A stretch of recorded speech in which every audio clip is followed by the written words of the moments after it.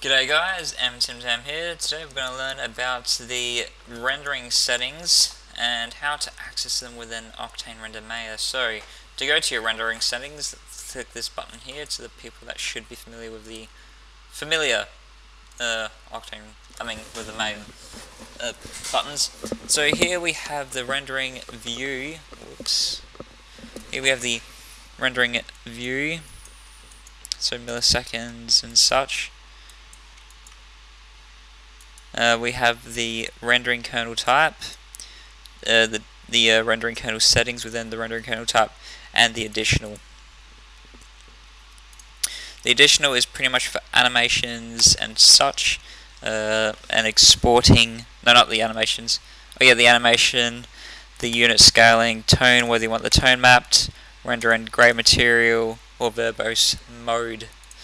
Uh, so let's so this is the direct lighting uh, option.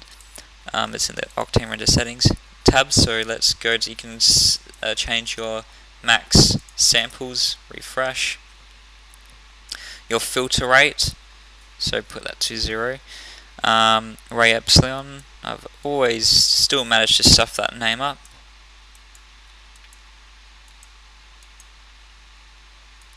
And the sliders here seem to also be overpowered and your R Rob.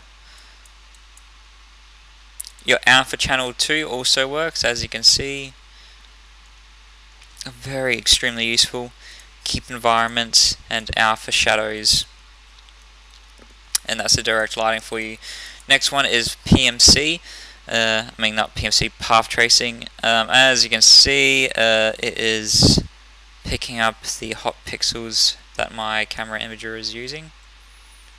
Which Okay, so now uh, we have the max samples filter, pretty much the same as direct lighting, except we also have the uh, ray counts, so we can put that overclock all the way up to max depth and such. And next is the PMC. Uh, PMC, same thing. Uh, we have the exploration, my favorite overclocking tool, max rejects, caustic blur, max depth, we also have the same as alpha shadows and keep material. All for realism. And next we also have the channel info, pretty much the same as the other ones.